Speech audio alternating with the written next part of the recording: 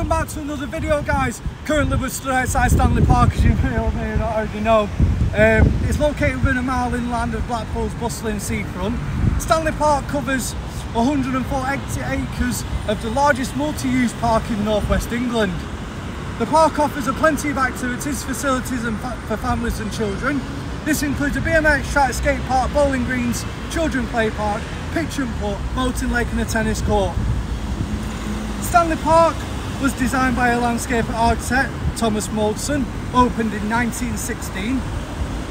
The park is named after Frederick Stanley, the uh, 16th Earl of Derby and MP for Blackpool in the late 19th century.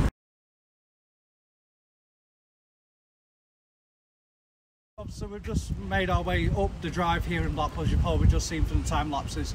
So currently stood behind the um, so just behind the cafe just there we'll carry on walking down is the boating lake here in Stanley Park. So currently stood outside the boating lake here in Stanley Park. The park's 22 acre boating lake is situated just east to the Italian Gardens. At the centre of the lake is an island linked by a shore by two ornamental bridges. It's important for the habitat uh, the number of waterfowl such as the mallard ducks, the Canadian geese and the mute swans the coots and the grey herons out from the boat stage on the western side of the lake, which is just over there. Motorboats, rowing boats, pedal boats and bumper uh, boats are available. The area of woodland around the lake is home to a variety of birds. Um, that's more or less it about the, um, about the boating lake.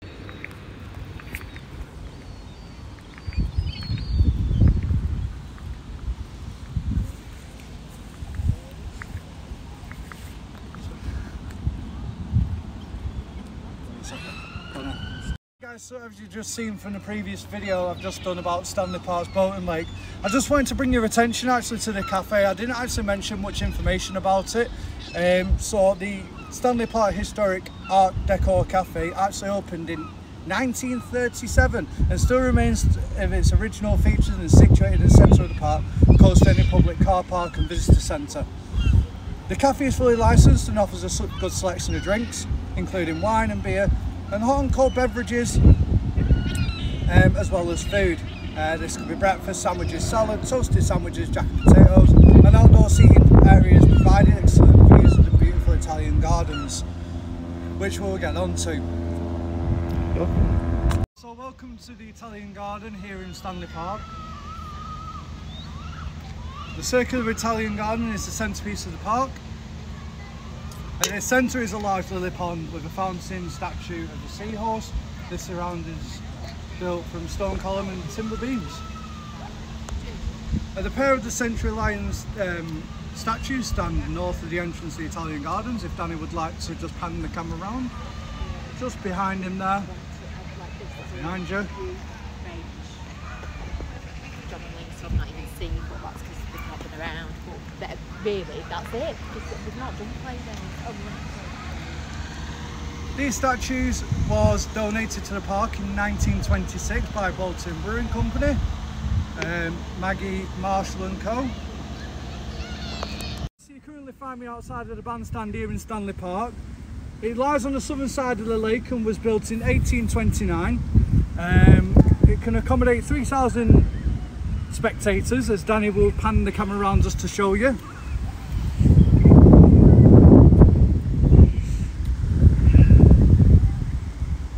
Can see there, the bandstand has an active events programme that includes performances from the live brass bands, rock and pop groups and opera and more. Come with me and we will go and show you the Rose Garden here in Stanley Park. Before we get onto the Rose Gardens here in Blackpool, uh, the Stanley Park, I just wanted to tell you a little bit of information about the, uh, the park's golf course. So the golf course is an 18 hole, 6,048 yard course, just northern end of Stanley Park, which we'll get onto. It opened in 1825 and was designed by the famous golf course architect, Dr. Alister Mackenzie. Um, the course is a, a play, uh, pay and play facility with a relaxed dress code Facilities at the clubhouse include a bar and restaurant. Stanley Park also offers a pitch and putt golf course. Just behind me here, there's uh, Stanley Park has a BMX track. Uh, Danny will pan the camera around just to show you. The BMX track was built uh, for a national competition standards, opened in 2011. Blackpool BMX Club are based here in Holsmith. Just behind me there, as Danny's just pointing to the camera, is an 85 foot Portland stone clock uh, tower which stands in the path of the running south from the Italian Gardens. The, the, um, the clock tower was built in 1927, named after the town's first mayor, Dr. William Cocker. Come and follow me as we go to the Blackpool Sports Centre, which is just across the road over there. The Blackpool Sports Centre, as Danny will pan the camera around us now.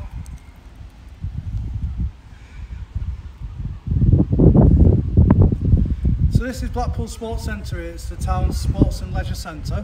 The facilities here include a gym, fitness studio, all-weather pitches, football, hockey, uh, the list goes on and on. It's got a sports arena with a running track, an indoor climbing wall, a uh, bouldering room and a netball court. If Danny would just like to show you all that.